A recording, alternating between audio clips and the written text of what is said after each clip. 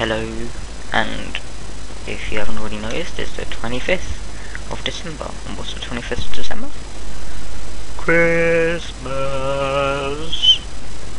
So, yeah, it's just a short thingy, I can't remember what it's called. It's not a video, really, it's not really a video, it's just something else. It's like a radio thing, what do you call it? Broadcast? Well, not broadcasting, is it? I don't know. Anyway, this is just Merry Christmas, well, hopefully Merry Christmas whoever watches this. You don't have to be a person subscribed to me. You don't have to be somebody who just watched all my videos.